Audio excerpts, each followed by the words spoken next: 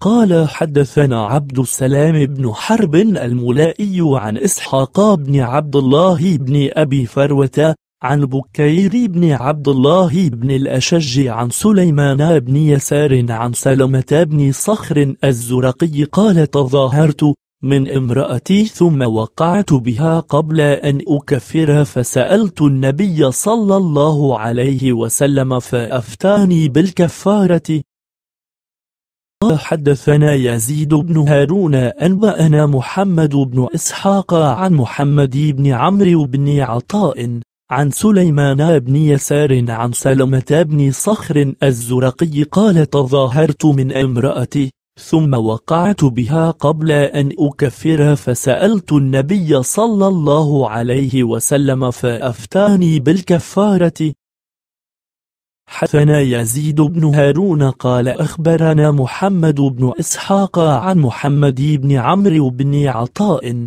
عن سليمان بن يسار عن سلمة بن صخر الأنصاري قال كنت امرأ قد أوتيت من جماع النساء ما لم يؤت غير فلما دخل رمضان تظاهرت من امرأتي حتى ينسالخ رمضان فرقا من أن أصيب في الليلة شيئا فأتتابع في ذلك إلى أن يدركني النهار وأنا لا أقدر على أن أنزع فبين هي تخدمني إذ تكشف لي منها شيء فوثبت عليها فلما أصبحت غدوت على قومي فأخبرتهم خبري وقلت لهم انطلقوا معي إلى النبي صلى الله عليه وسلم فأخبره بأمر فقالوا لا والله لا نفعل نتخوف.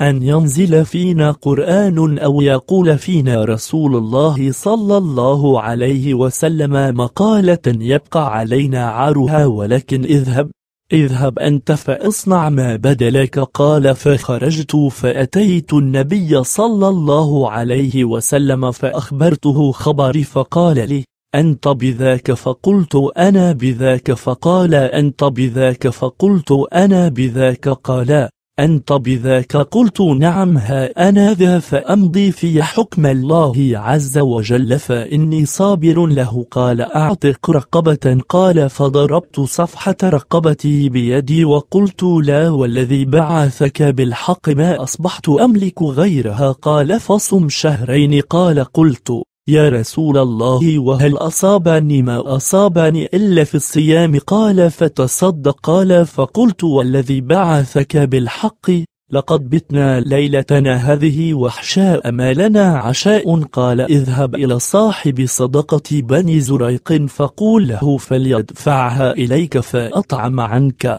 عنك منها وسقا من تمر ستين مسكينا ثم استعن بصائره عليك وعلى عيالك. قال فرجعت إلى قومي فقلت وجدت عندكم الضيق وسوء الرأي ووجدت عند رسول الله صلى الله عليه وسلم السعة والبركة. قد أمر لي بصدقتكم فادفعوها لي. قال فدفعوها إلي.